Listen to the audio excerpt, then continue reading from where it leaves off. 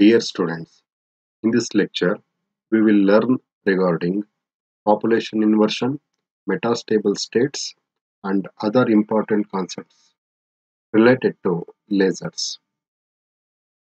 First, we will see steady state condition. In the previous classes, we have learned stimulated absorption, spontaneous emission, stimulated emission. All these three processes occur together with a balance between absorption and emission. At thermal equilibrium, spontaneously emitted photons can induce stimulated emission from another excited atom.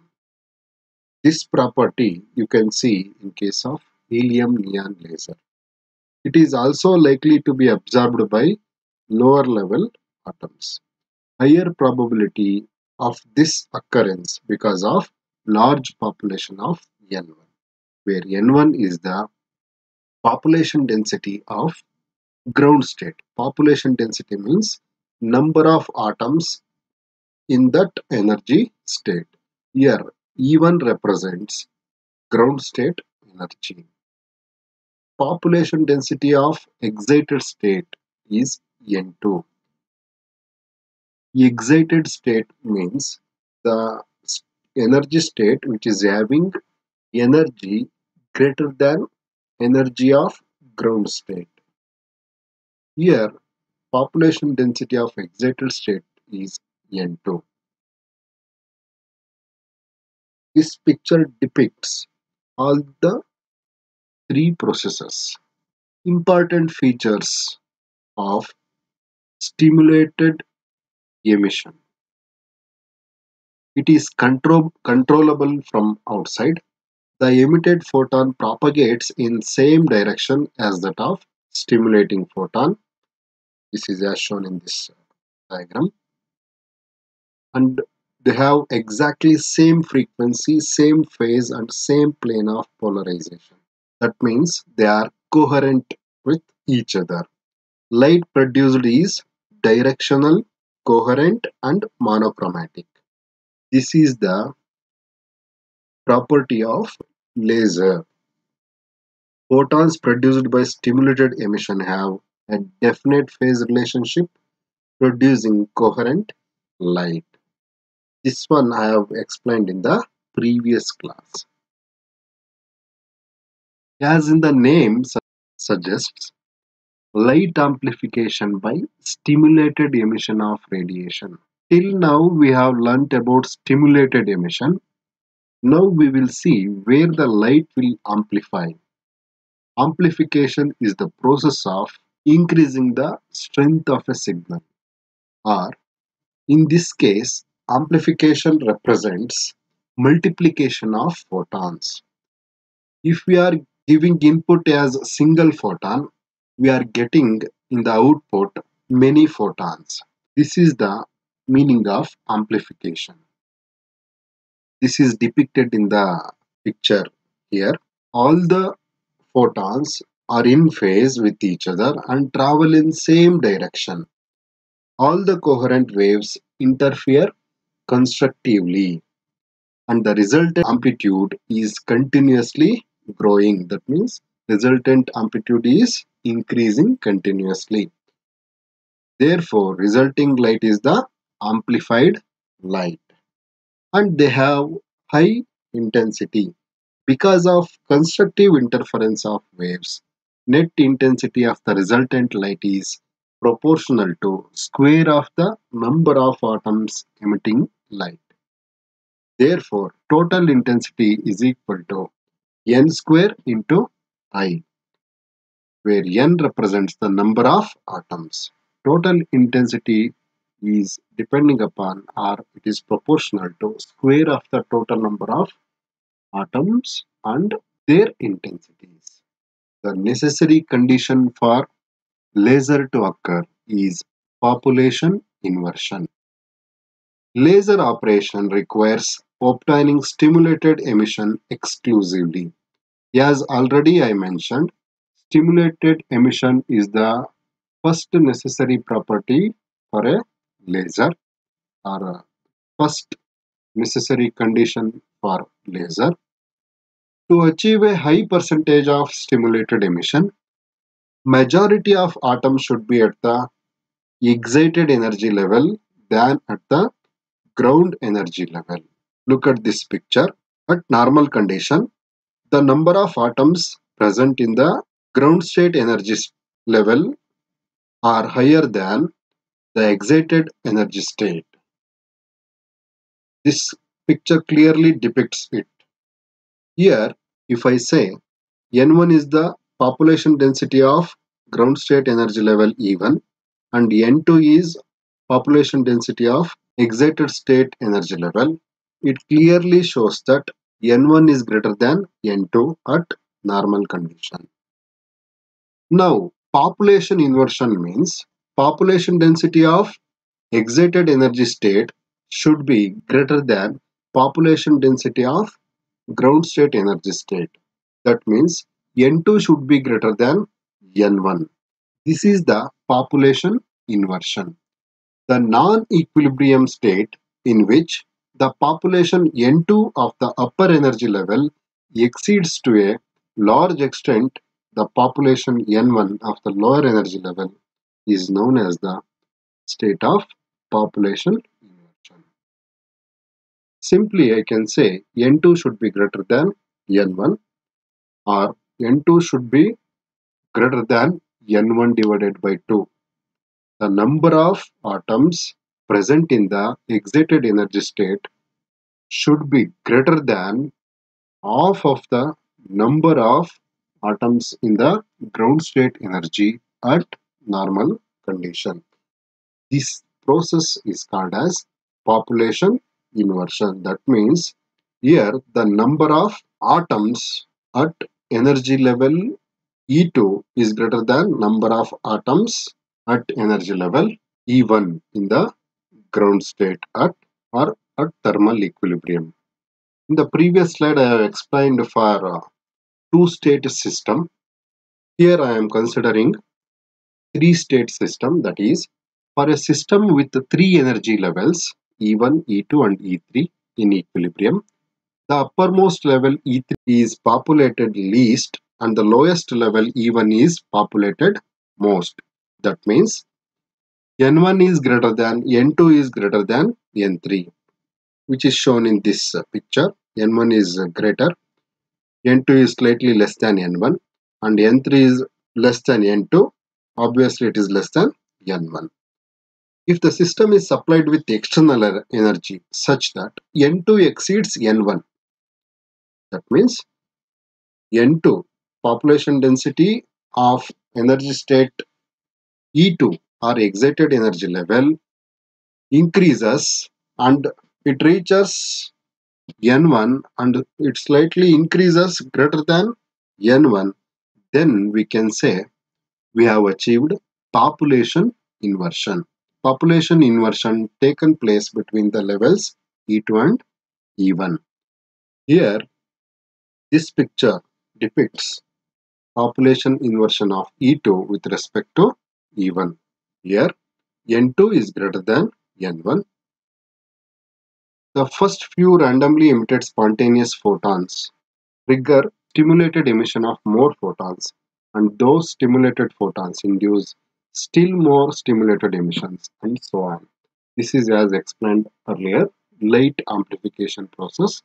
It will in turn increase the stimulated emissions finally in order to get lasing action. As long as N2 is greater than N1, stimulated emissions are more likely than absorption. Therefore, light gets amplified. This is all about population inversion process. Now we will see another important concept, metastable states. An atom can be excited to a higher energy level by supplying energy to it by means of optical energy or electrical energy, etc. Normally, the excited states have shorter lifetimes. The lifetime of that excited state it is in the order of nanoseconds that is 10 to the power minus 9 seconds and after lapsing of that time they will be transit to the ground state by the emission of light by spontaneous emission process. Atoms do not stay at such excited states long enough to be stimulated to emit their energy. Though the pumping agent continuously raises the atoms to the excited level, many of them rapidly undergo spontaneous transition to the lower energy level.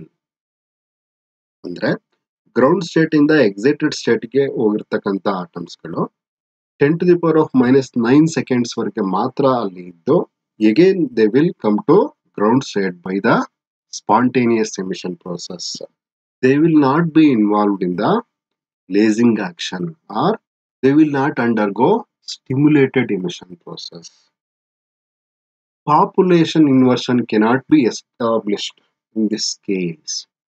For establishing population inversion, the excited atoms are required to wait at the upper lasing level till a large number of atoms accumulate at that level.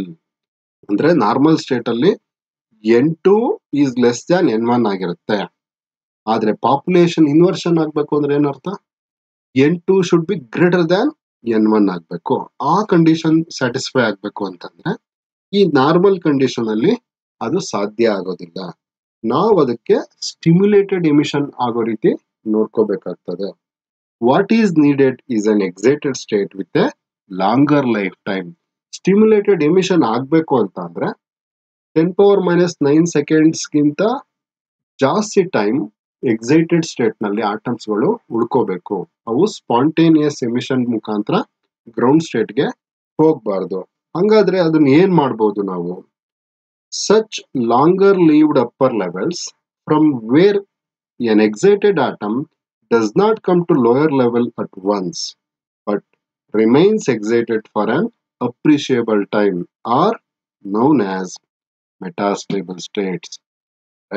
Excited state life time ಅಂದ್ರೆ ಆಟಮ್ದು life time excited state ಅಲ್ಲಿ ten power minus nine seconds ಅಂತ ಏನ್ ಹೇಳಿದೆ ಅದಕ್ಕಿಂತ ಜಾಸ್ತಿ time ಇರ್ತಕ್ಕಂತ energy state ಹೊಂದಿದ್ರೆ ಅಲ್ಲಿ ಆಟಮ್ಸ್ಗಳು ತುಂಬಾ ಹೊತ್ತಿದ್ರೆ ನಾವು ಅವನ್ನ ಸ್ಟಿಮ್ಯುಲೇಟ್ ಮಾಡಬಹುದು ಆವಾಗ. ಸ್ಟಿಮ್ಯುಲೇಟೆಡ್ ಎಮಿಷನ್ ಪ್ರೋಸೆಸ್ ಆಗೋ ರೀತಿ.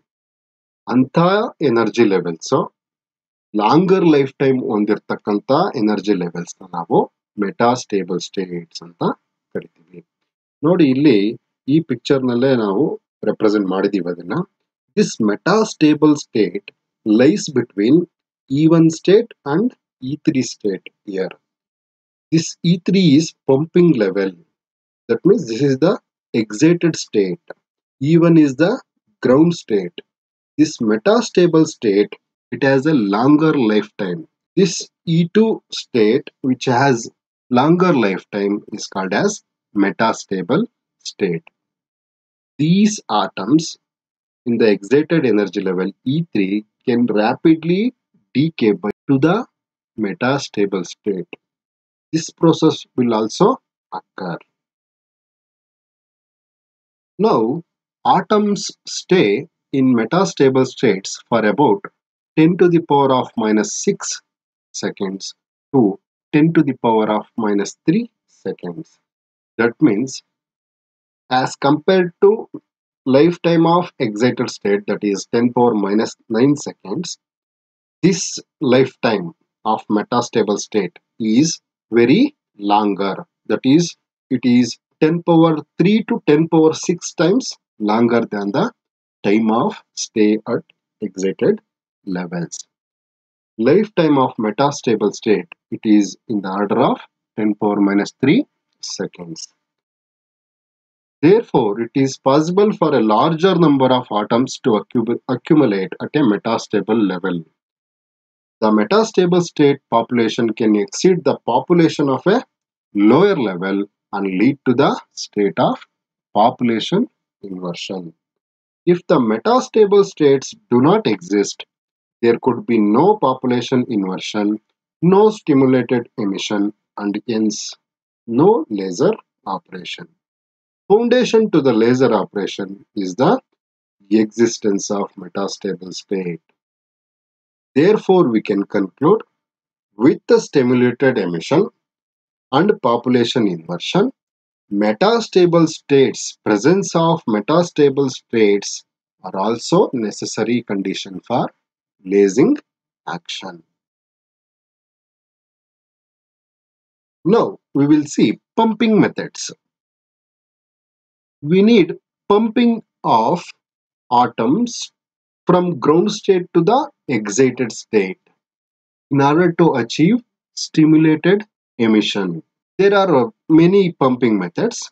To create the state of population inversion, selectively excite the atoms in the material to particular energy level. This is the process of pumping. Most common methods of pumping makes up makes use of light and electrons. When we use light, it is called as optical pumping. It uses photons to excite the atoms in the ground state. A light source used to illuminate the laser medium. Photons of appropriate frequency excite the atoms to upper levels. Atoms will transit to the metastable state to create the state of population inversion as ex explained earlier. There are uh, plenty of sources for optical pumping, flash discharge tubes, continuously operation lamps, spark gaps are an auxiliary laser.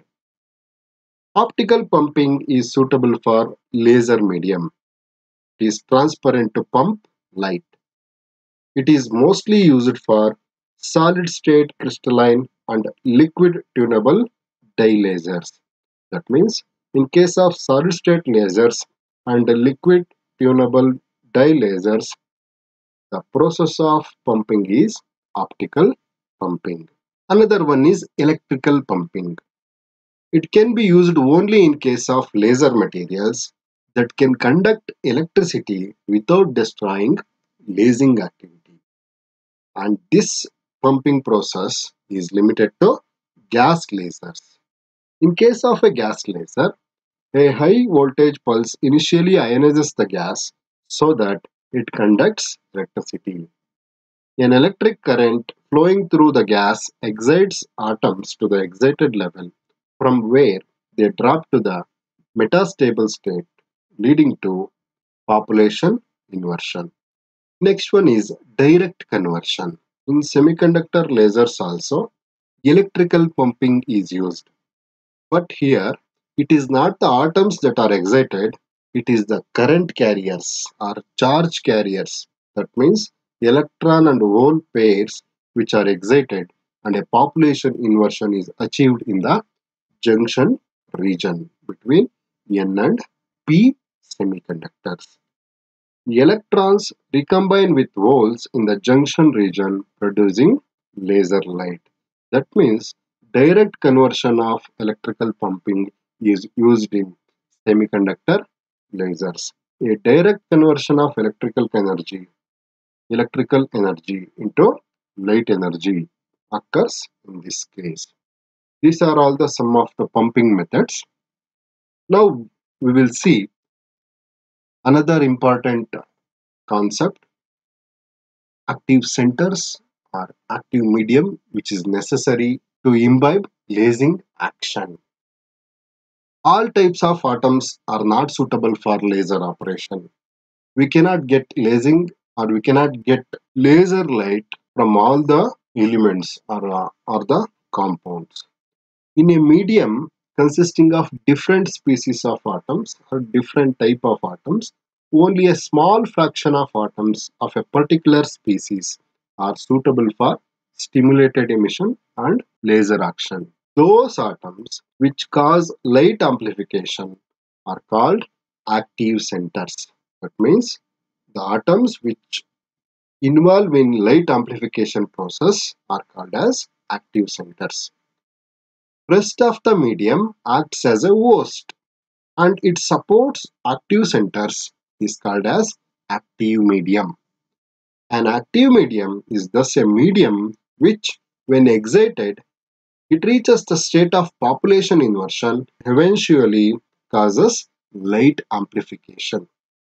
Active medium may be a solid, a liquid or a gas. Finally, I conclude population inversion, stimulated emission, presence of metastable states, and presence of active center and active medium. These are all the necessary conditions in order to achieve a lasing action. Thank you.